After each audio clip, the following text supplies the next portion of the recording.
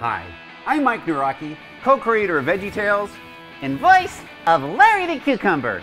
And when I'm not bringing joy and biblical values to children around the world, or writing silly songs, I also write books.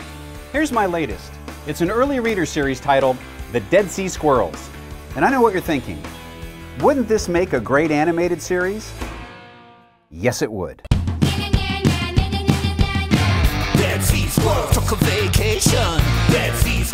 Squirrel salination.